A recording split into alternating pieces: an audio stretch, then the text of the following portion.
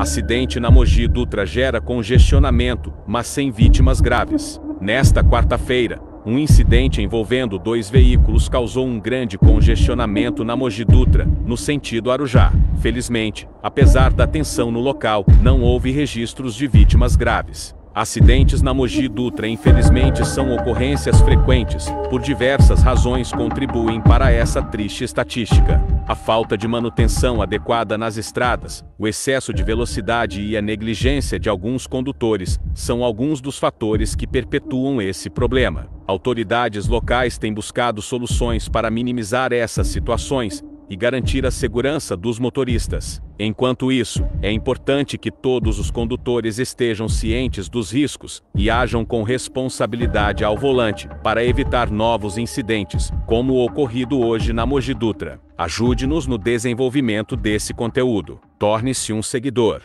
Curta, comente e compartilhe. Jundiapeba News. Leia, informe-se e participe.